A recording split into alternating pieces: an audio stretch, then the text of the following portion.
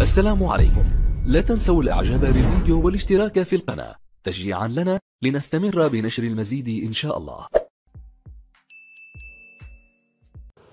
إحنا كل المؤشرات نتاعنا اليوم ما بقاتش في اللون الأحمر. اللي أخضر أخضر واللي راه باش تميل الاخضر عن قريب جدا كذلك. إن شاء الله. لأن في عمل راه يندار.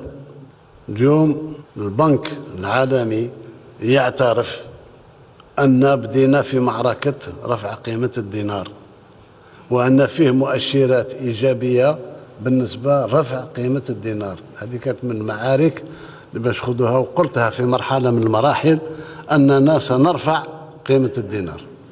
وما زال مشوار طويل صح؟ ولكن باش نصلح الكارثة الاقتصادية والمالية اللي كانت قبل هذا هو.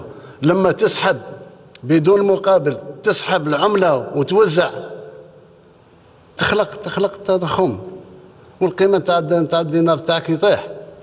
اليوم رانا نمتص في النتائج السلبية تاع التضخم ورانا نحاول نقوي قيمة الدينار تاعنا اللي تعود بالفائدة على قدرة الشرائية تاع المواطن بالطبع.